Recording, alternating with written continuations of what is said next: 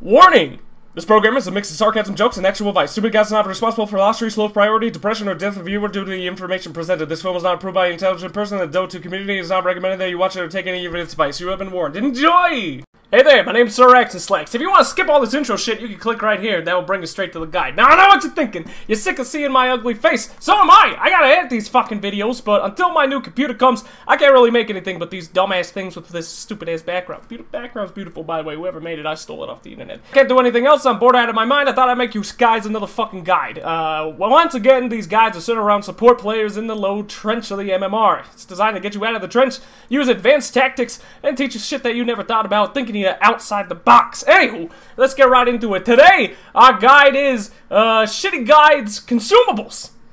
Uh, that's right, consumables. The shit nobody cares about. I know you heard that title and you said that that's fucking stupid. You can't write guide on consumables. No, yeah, that's what we're gonna talk about. We're not talking about the fucking Band of Elvenskin. No, that's too complicated for this movie. We're gonna talk about that next week in a one-hour feature film. Uh, but today we're gonna talk about consumables and teach you shit you never thought you'd know about about the world of consumables. Now, consumables are your bread and butter as a support. We're gonna go through each one of them uh, in a specific order that they appear in the game. And this is shit is important. I guarantee you'll learn something new today that will help you improve over uh, your enemies. So, sit back, relax, get goosey, loosey goosey, and let's get into the world of consumables. Okay, stop, stop, stop, stop. It's it, it, it it's me from the future. Well, from tech technically not your future. This would still be the past. It's the future for me. I, I already edited this movie. I'm. It's after I edited the movie. Uh, hi. This movie's long as ass. It's it's fucking 50 minutes long. It's consumables, the feature-length film. And nobody gonna want to watch that. So I uh, I made a, you know, a little something. I made you buttons. And click these buttons. It will bring you to special places in the movie. Uh, if you're experienced, I recommend you skip Clarity and Tango because that is the most boring parts. Uh, the rest of it's great though. You just click any one of those buttons. Now, because of a time distortion dilation, the buttons will go away after this little clip is 4 in the morning. I'm not going to put the buttons in the rest of the fucking movie, but uh, you can click those buttons to skip to what you want to do. Yeah, if you want to watch the entire movie, if you want to watch consumables, the feature-length film, you can click right here, but you'd have to be psychotic. So, there you go. Click a button. Yeah, enjoy uh, your journey. Consumable number one, clarity.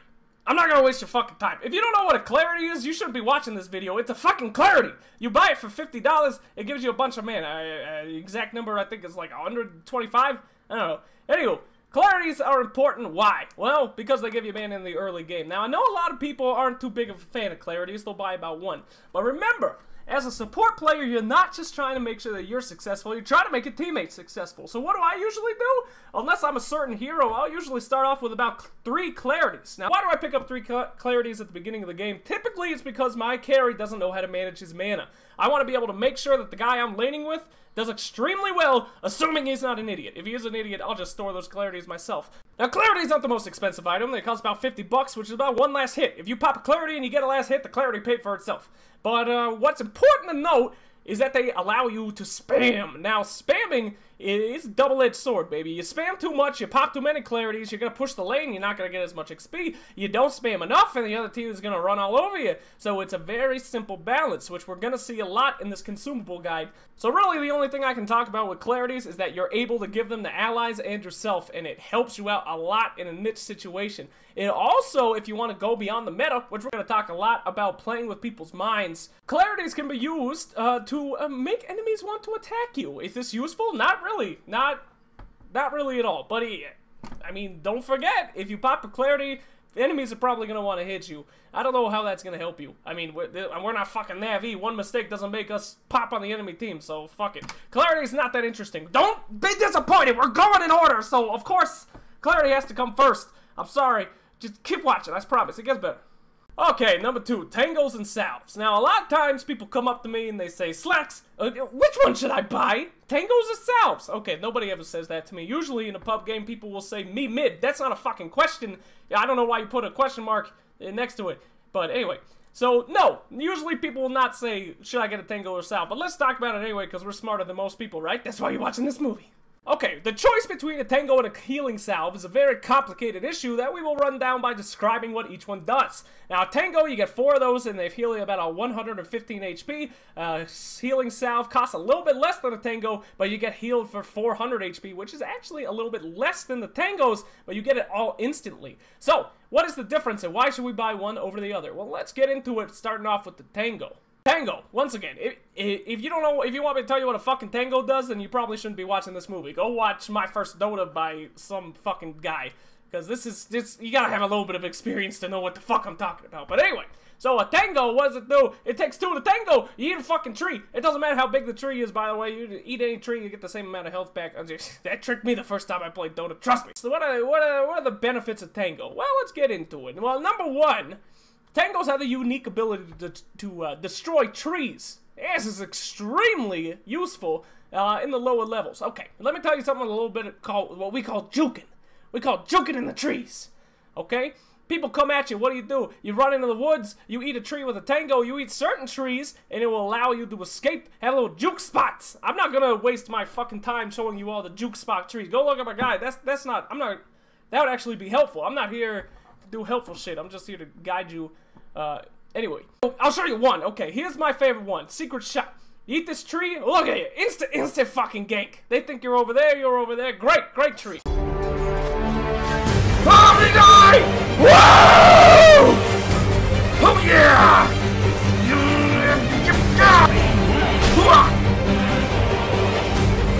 It works. In the lower levels in the trench, when people see other people go into the jungle, they just assume that they've they've disappeared from the fabric of reality. They'll go in there, take a look around, and say, "Ah, ah he's he's gone. He's he's he's been abducted by I don't know. He gone." So that's the joy, that's the beauty of a tango. You know what trees to eat, you can escape, you can have a great time, and your teammates will think, I don't know, that you're fucking, you're a fucking ghost or something, you're a phantom. Also, you can use trees to pull fucking creep camps and shit, but I ain't gonna get into that because that's complicated as ass. That's gonna be for another video. But my favorite part of tangos is the fact that you can have four of them. Now, what does this mean? Well, as an enemy, uh, they're going to be looking at your inventory. And that's something you should always do as a support, is clicking on the enemy and see what they bring to the table. Now, if you see an enemy with like six fucking tangos or one salve, you know exactly what you're going to do. You're going to spam the shit out of them, trying to get them low health to use that salve. And then what do they have? They don't have anything. But if I see some guy with fucking nine tangos in the bottom lane, I ain't going to waste shit on him. I'm going to let him just hang around because I know it, guy is just going to heal himself up for the next 35 minutes. This is a very important mental uh, advantage that you have over your teammates. The ability to have that slow heal and stay in your lane is so much more important because once they see that salve, baby, that's all they're going to want to do is make you use that salve and then you're out. You gotta walk back to base or have the courier go to you. So tangos allow you to stay in the lane much longer, and they're they're very versatile. Also, you can give your tangos to teammates. Now, this is an incredible benefit for stupid ass carries, because guess what? You put them on a time limit. Usually, you, as the smart person on your team, as the support, you're not going to get hurt that much because you're never out of position. You're hanging back. Usually, you're going to be a range support, throwing down shit, and your dumbass carry who bought a quelling blade and three branches, he's going to be hitting creeps. Now, what you can do is you can pretty much give all your tangos to this asshole, and he'll know that he can only heal up every 30 seconds. Guess what? You just saved his ass because he's not going to be that aggressive. It's a beautiful thing that you can't use tangos that often. You just give them to your carry one at a time. It's just like a little dog treat. Good boy! Here you go! Here you go! Good job! And he's going to eat a tango. He's going to see that they're on a cooldown timer. He's not going to be a fucking idiot and run in there. It's a great way to control your carry like a fucking dog with a dog treat. Love tangos for that. When I have seen my carry in lane with no healing items and I start giving them tangos like dog treats, do you know how many times I've seen them successfully get ganked by the other team? Like, once. Okay, they play so passively because they see that little timer. They know I can't heal for another 25 seconds. That they play smart. They play hard. If you give your fucking carries a bunch of healing salves, they're gonna be like, I'm invincible, and they'll go kill themselves running under the tower. So on the other side of the coin, uh, salves. Well, they do give you that huge beefy uh, amount of health. But let's be honest here, if you're running for your life and you pop a salve and you save your life, I mean, great job, but what did that do for you? It allowed you not to die, and in the beginning of the game, what do you lose? Like fucking a hundred bucks and you get a free trip back to the fountain? Who gives a shit if you fucking die in the first 10 minutes of the game? Uh, granted, you don't want to, but it was it worth the hundred bucks? Eh, I don't know. Maybe I wouldn't consider it so. I think personally that buying salves makes your teammates go fucking bananas. It makes them be too aggressive. Makes them think that they can get away with too much. Tangos just have too many benefits. The ability to chop down trees, the ability to keep your heroes on a leash like a dog, uh, the ability to have a big presence in the lane. Personally, I'll go almost Tangos over Salve every single time. Now again, that's coming from a lane support. If you're jungling, a salve is a great fucking item. If you're a certain kind of hero, a salve is a great fucking item. But as a support in a lane, tango all the way, baby. Don't fuck around with salves. Okay, now before we move on, let's talk about the ability to share tangos and those people that ask you for tangos at the beginning of the game. Okay, let me make this perfectly clear to you. Fuck those people. If you get some asshole who says I'm mid and he says give two tango, no! We don't do that. Why is that? Okay, well, because he's a fucking asshole. Here's what happens. The worst person on your team, nine times out of ten, is gonna say I'm mid and then ask you for fucking tangos. I mean, why why is he asking you for tangos? Because he knows he sucks. Is he's gonna rush like a fucking uh, uh the mask of viper, whatever that asshole thing is. I, he, he two tangos isn't gonna help you. That's that's 200 health or something. That's like fucking four hits. What is that gonna do for you? Okay, let me run this down for you. If your mid takes you two tangos and they get first blooded, which is happens about 99% of the time because they're assholes, what's going to happen? Well, you're going to have less ability to stay in your lane. The middle is now killed your mid. He has no regen items. He can't stay in the lane. He's going to be walking back and forth like an asshole. Mid's going to get lost. Your lane's probably going to get lost. Your fuck, the enemy mid knows that your lane's lost and he killed mid. He's going to go top. Top's going to be lost. Basically, giving your fucking idiot mid two tangos pretty much loses you the game in 9 out of 10 scenarios. I this is not a homeless shelter. I don't give you food for showing up. Buy your own fucking tangos, asshole. Okay, but not, not every mid's gonna be a stupid asshole. Now, uh, here's what I do. Whenever somebody says, give me two tangos mid, uh, I, I type one thing into my chat. I say, why? This is... Trust me, this is, this is this is like Jeopardy for these guys. This is like Trivial Pursuit. If you get anything after you type in why, probably give that guy your tango. Yeah, because guess what? If you type in, why do you need two tangos, and he says, oh, because I would like a little bit of uh, ability to gank the lanes, and I do not buy any regen items, and I would like proper rune control, give that guy your fucking tangos. Okay, give him a fucking hand job because he's gonna win you the game. That guy knows what the fuck he's doing. If you type in, why do you want two tangos, and their response is, me mid, just, no. No. In fact, what I like to do is wait till they have a full inventory, put a tango on the ground, and then fucking destroy it in front of their face and say, I'm not gonna stand for this shit! Don't fuck with me! That's what we call establishing superiority on the team, okay? Break their spirits before they allow you to break the ancient. Jesus, we talked about that for a long time. I see. You didn't think we'd be talking about tangos for fucking however long that was, like two minutes or some shit. Anyway, let's move on to Magic Wand. Now I know Magic Wand isn't really a consumable, but I gotta talk about it. It's goddamn essential, and here's why. Okay, Magic Stick. Now, I don't know if I... I'm probably gonna say Magic Wand a bunch of times. If I say Magic Wand, just know I'm talking about fucking Magic Stick. I'm not Arteezy or some shit. I don't know the difference. Anywho, Magic Stick. I call Magic Stick something called a knee-jerk item. Why is that? Because it should be your knee-jerk response to buy that shit if you see any of these heroes picked. Zeus, Batrider, PA who's spamming daggers, and uh, Bristleback. Always buy a Magic Wand. You see any of those names on the enemy team, you buy a fucking Magic Wand. Why? Because every single time they use their abilities, they're allowing you to win. It's fucking fantastic. But let's get into Magic Wand. Well, it's a pretty cheap item to be honest with you. I mean, it's 50 more gold than an Observer Ward, and it's definitely worth your purchase. Uh, let's let's talk about why. Think of Magic Wand, if you will, as a seatbelt. Now, when you get into a car and you're driving, do, do you have to wear a seatbelt? No, you, you don't have to, but you probably fucking should. You know what Magic Wand does? It saves your life in that one instant where you didn't even know your life needed saving. It's an insurance policy. It's a fucking seatbelt. You put on a seatbelt every day, you buy a wand every match. Is it always to save your life? No. But that one time you need it, it's to be there. It's to be ready, baby. Always fucking buy a magic wand almost every time. Now, I'll be quite honest with you. I'm horrible at this. I still forget to buy magic, magic wand. But you gotta click that fucking magic wand, man. Almost every time. It's your goddamn seatbelt. It protects your life. Now, okay, do you really need to buy magic stick, magic wand. uh, I keep saying fucking wand. God damn it. Okay, listen. I, again, we're talking about magic stick here. Do you need to buy magic stick every game? No, not if they don't have a bunch of people that are gonna just be spamming spells and shit. But almost every single time, you should be wearing your seatbelt if you're gonna be driving in the Dota world. Okay? And if we're gonna continue this metaphor about magic wand being a seatbelt, uh, don't forget to click it or tick it. And what do I mean by that? I mean click the fucking magic wand before you die almost every single time. If I if you buy magic wand, you're dead and you see that you have charges on that, you have you failed. You've wasted your money. You've wasted all of your money. You you gotta use those charges. If I can offer you any advice, set up a hotkey and make that hotkey. Call that the oh shit hotkey. That's what I, I have for space. Anytime something goes wrong, I've trained myself to just start spamming on space.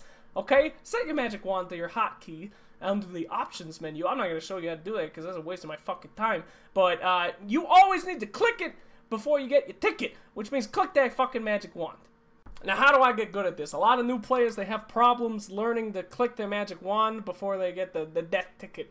Uh, here's my advice. Every time you see that magic wand charge uh, on the dead screen, punch yourself in the fucking balls. I did that about twice, and I never forgot to click my magic wand again. I know that it's gonna hurt. I know you're scared, but just BOOM! Ballsack! Just! Oh, never again. Seriously, sometimes when you think you're gonna die, even if you don't have the wand, you'll start slamming on whatever your oh shit button is. Jesus Christ. this fucking guy sucks. Okay, alright, let's get back to it. Here's the next item. This is the most important item. If you haven't been fucking paying attention for the rest of the movie and you don't feel like paying attention after, that's fine. Just take this away from you. TP scroll. Teleport scroll. Let me lay this out in the most simplest terms that I can. If there's not a TP scroll in your inventory, you're fucking up. That's it. There should always be one there. Now, I know this sounds like overkill. Guess what, asshole? It's not overkill. Technically, you should always have two of these bitches in your inventory. Now, why is this? If you go to any, any, any pro game, any fucking pro game, and you see somebody without a TP scroll in their inventory, then put put a little fucking dollar in a piggy bank. Guess what you'll have after two months? You'll have nothing in there. Okay? They always have it. Why is that?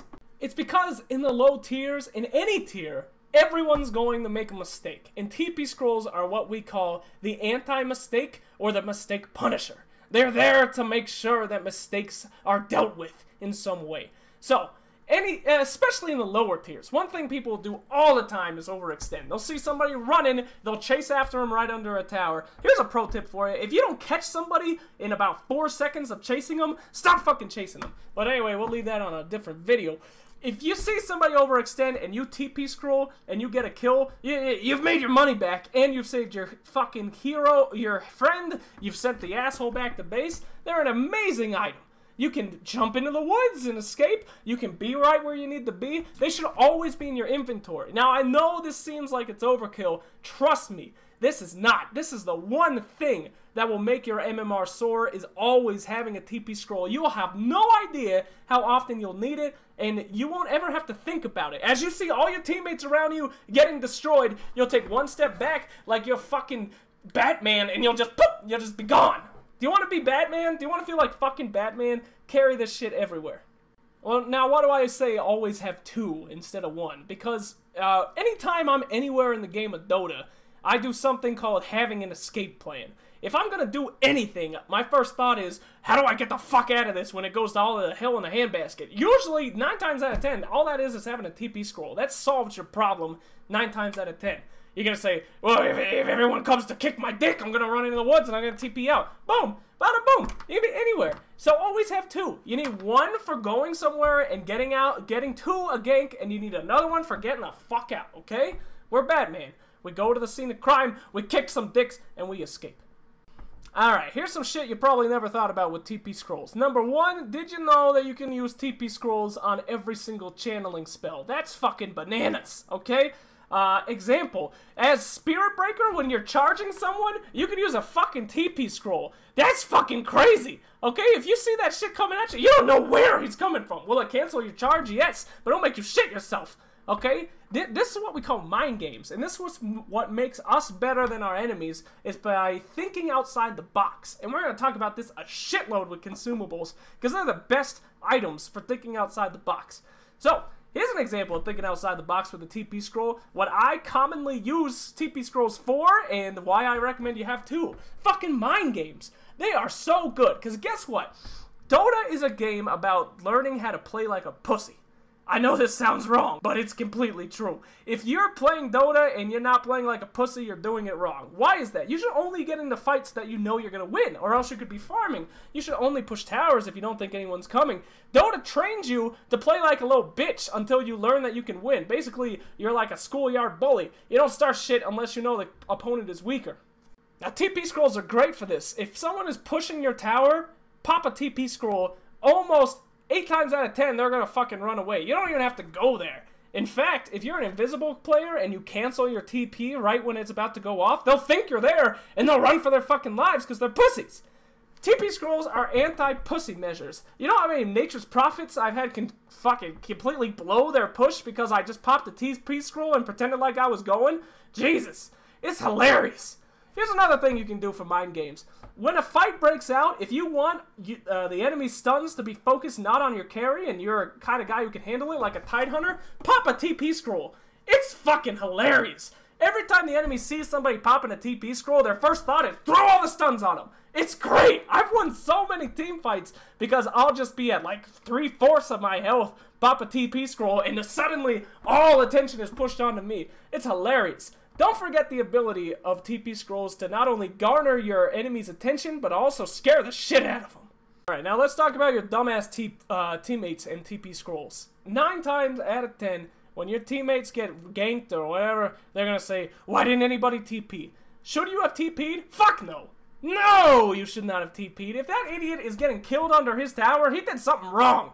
It's not your job to be there to be their bodyguard you're probably going to get killed too if you were to do that, especially on mid. If your mid is asking for you to gank mid with a TP scroll to help him out, unless something horrible has happened, unless the enemy team has four dudes mid, you probably shouldn't go. What you should do is TP in after he dies. I know this sounds like a dick move, and... well, you don't actually want to go in until he dies, but 9 times out of 10, by the time you notice, he's already running for his life with 2 health. But you TP in after that idiot dies, you take the kill from the overextended enemy, and you just say, fuck it. I mean, your, your job isn't there to waste 130 gold to go and try to protect some asshole who wasn't doing his job right. Your job is to win the game. So, when your teammates scream at you for not TPing to help them, yeah, apologize, keep them happy, but fuck them. Should you TP to save good teammates, like a mid that's still already got first blood and shit? Yes! But you have to have your eyes on the mini map and you have to have a TP ready to go. And sometimes, if it doesn't look like you're going to live if you TP, it's not worth it. What is worth it, I will say, is doing that mind game. Look like you're going to TP, throw in a TP, and if the enemy starts running away, you've done it. You don't have to die for that, and you get to save your friend's life. So that, again, always have two TPs. They are an immeasurable resource to you. Alright, smoke of deceit. Buckling kids, you're about to learn a lot. How many times have you ever seen somebody use a fucking smoke of deceit if you're in a trench tier? Let me answer that. Uh, about twice in a thousand games, okay? Smoke of deceit is the least used item in pubs ever, unless you're fucking great, unless you're up in the in the clouds of of genius land. Smoke of deceit. What the hell does it do? Why doesn't anyone buy it? And how how am I going to convince you to use it? Well, here we go. You ask anybody in the Dota 2 community what Smoke of Deceit for, they're going to tell you Smoke of Deceit is for bypassing runes and uh, succeeding in ganks. Yeah, maybe. Uh, for good teams, not for us, okay? Our teammates don't know how the hell to gank. They don't know what they're doing. And anytime you do pop a smoke, 9 times out of 10, I gotta stop saying that shit. Uh, most of the time, excuse me, uh, they're not gonna do shit with it. So let's talk about what smoke will actually do for you as a support and why you should be buying that shit up like hotcakes. Smoke is so underused in pubs, most people don't even know what the hell it does or the mechanics of it. So before we get into special tricks and why you should buy it, let me just uh, fill you in on what the hell it does. Now, Smoke of Deceit allows you to appear invisible to non-hero units. Does this sound interesting? No, but it is game-changing. Now, let's go over what will reveal you in Smoke. If you get too close to a tower, if an enemy sees you, and if you attack. That is it. Those are the only things. Now, what does this mean? This means that using abilities, like any one of Zeus's abilities, any one of your magical abilities, that does not reveal you. That's incredible. There's so many ways to use that. Have you ever played Keeper of the Light with the smoke? You sit in your lane, you charge up and illuminate, and they can't see it coming. They think that they've angered some kind of fucking mythological god. They're dying out of nowhere. They have no idea why. Great item. You can use abilities and be invisible as long as you're out of their sight. Uh, so what can we do with that ability? What what's so important about it? Well, most will say that it's only good for getting around wards. Now that's just not true. I mean, it has so many uses. Oh, and by the way, did you know that a sentry ward will reveal people with smoke on them, but it won't show it on the minimap? So, a lot of people will say don't sentry ward Rosh Pit if they're worried about Lycan or something because it can't do it. Actually, you can see him, you just can't see him on the minimap. So you, you kind of have to just be looking in that area. Okay, so anyway, in, in the high tiers, that's exactly what people use smoke for. They use it for five-man ganks. They use it to come back from the brink and turn around and have a big jump on your enemies. Well, guess what? In the low tiers, we're not good enough for that. Uh, it, it's a goddamn miracle if people are working together in general, not to mention during the smoke of deceit. So, uh, yeah, I, I, I don't use smoke for that because it's psychotic. It, it's it's a it's a goddamn it, it's a wish. It's an unattainable dream. I use smoke in a much different way. All right, let's start off with the least useful use of smoke uh, for personal use, because that's what we're going to talk about. We're going to talk about smoke for personal use, not for team use, really. So, uh, number one, Smoke allows you to uh, dodge several ultimates. For example, if there's a Bloodseeker on the other team, you should probably buy Smoke. Why? Because if you're low health, he won't be able to see you if you pop a Smoke. If there's a Zeus on the other team, people, you did you know you could dodge his ultimate with that? Uh, most people do not know that. Uh, I don't ever do that though. I did that fucking once. I popped a smoke running away from the Zeus and he had a refresher orb. He made me look like a fucking asshole. So yeah, I mean it will make you look invisible against Triano, up against Nature's Prophet, against Zeus, against Global Ults, but I mean, uh, does that have a use? No, not really, unless I don't know, you're fucking god or something and you know when it's coming. Usually you're just ter- you're just happy you made it out alive.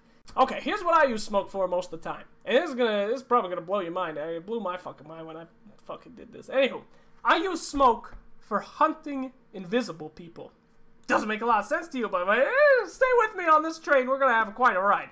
Now, let's say you're on a hunt for an invisible hero. And well, there's two ways you can do this. You can uh, go to their jungle where they're probably farming up, or you can stay by one of your dumbasses and hope that he jumps them. Which, yeah, option two usually happens.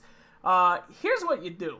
Now, a smoke of deceit it only goes away if a hero is in a certain amount of units from you. I think it's about 1,025, but it could be wrong. If I am wrong, I'll put it up here. I'm always right. Now, smoke of deceit goes away if a unit is in with a certain amount of distance from you. Guess what?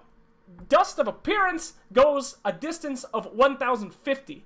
What does this mean? This means that when you're jollying around, running around with Smoke of Deceit on, if there's any invisible unit near you that pops that Smoke of Deceit and you can be seen, if you hit dust, you're guaranteed to dust that enemy.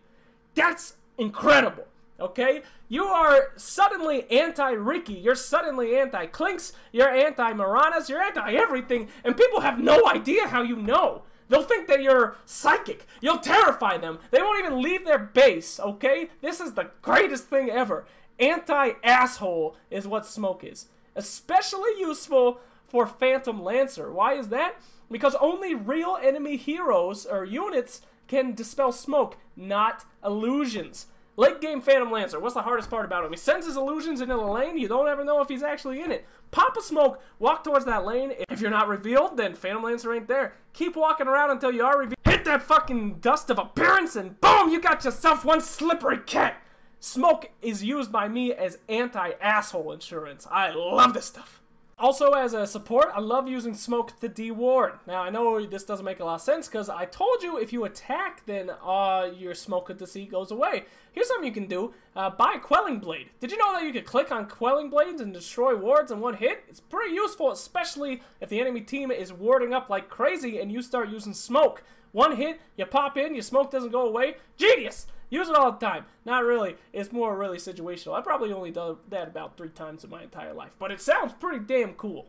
Meta. Again, thinking outside the box with smoke of deceit. How, how do we be smarter than our teammates and have them do what we want? Well, here's the thing. Smoke of deceit is the only item in the game that will make your teammates gank. yeah, they, they can't control it. If you walk up to a Bloodseeker who's AFK in the jungle doing jack shit and you pop a smoke of deceit, it, suddenly, like, a, a light pops on in his head and he follows you and he looks for people to gank. Do you know how useful this is? Do you know how little trench tier people gank? It, they never do it, especially not as five. It's a magical item. Okay, you don't even have to announce it. You just manly up over to three dudes sitting around, pop a smoke, and all of a sudden, SWAT, they're special forces. They, they'll do, they'll just run around trying to kill people. Smoke has a, a magical ability to make your teammates aggressive gankers that work as five if you get all five of them in the smoke. If you ever pop smoke and the guy just keeps farming the jungle, then you should probably just quit.